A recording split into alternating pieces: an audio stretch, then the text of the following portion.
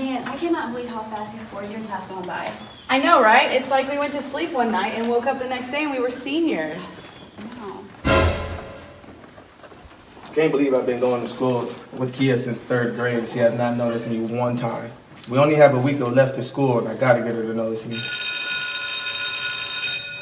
Man, I hope Coach Bubba does not kill us at practice today.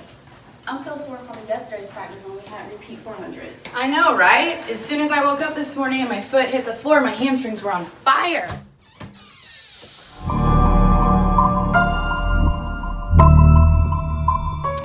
Since August 4th, 2018, the average American adult spends more than 11 hours per day watching, reading, listening to, or simply interacting with social media.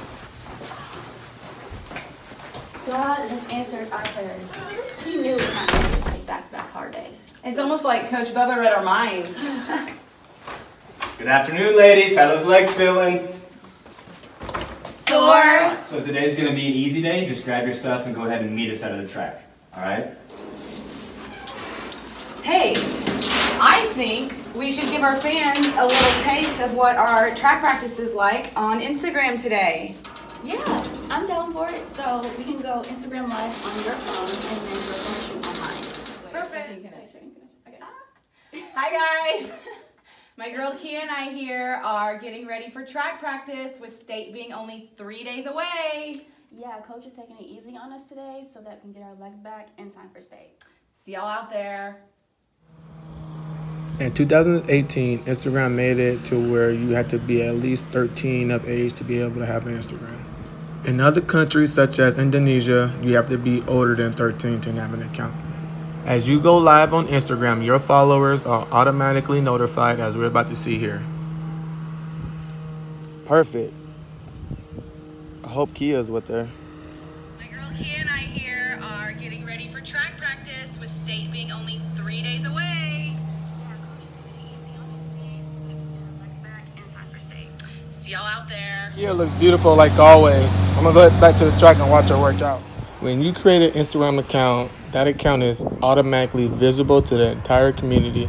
By switching your account to private settings, it allows you to control who sees your content and makes it that much safer.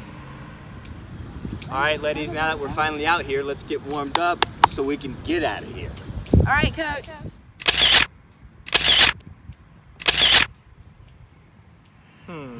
I wonder what she would say to me if I talked to her after practice. All right, ladies. We just got blocks today. Just going 30 meters. All right, ladies. Just by Mookie watching uh, Laura and Kia's Instagram live video, it was easy for him to gain access to their location, which was not safe for them. All right, ladies. Make sure we get in and see the trainers. Ice baths for both of you. All right, Hi, coach. coach. Hey, I think I'm gonna stay a little longer and do some extra strides for my hip, so I'll meet you in there. All right. Don't forget the trainer closes in an hour. Gotcha.